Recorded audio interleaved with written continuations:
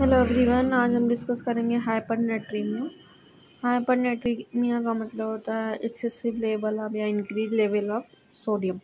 an elevation in the serum sodium concentration greater than 145 milliequivalent per liter hypernatremia is much less common than hyponatremia because even a small amount small amount increase in sodium serum serum is is stimulus to thirst अगर sodium का level बढ़ जाता है, थोड़ा सा भी तो उससे हमारा जो होता है थ्रस्ट स्टिमुलेशन बढ़ जाता है। Elevation of sodium concentration develop in दो patient who are unable to experience thirst are unable to gain access to water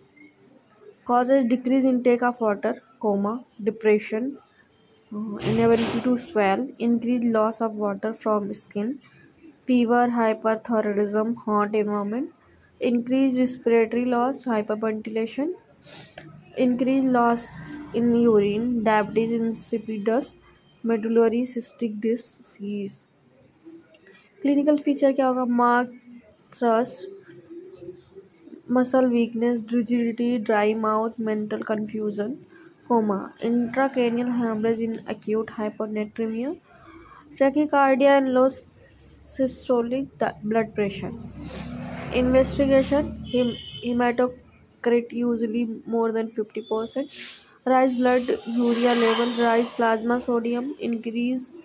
uh, urine specific gravity greater than 1.001 polyuria and urine specific gravity less than 1.010 in diabetes insipidus.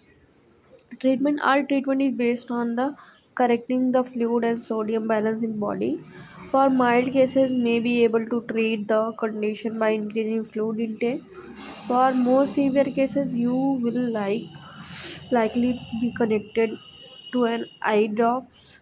eye drip drips that used to intravenously supply to the body. Thank you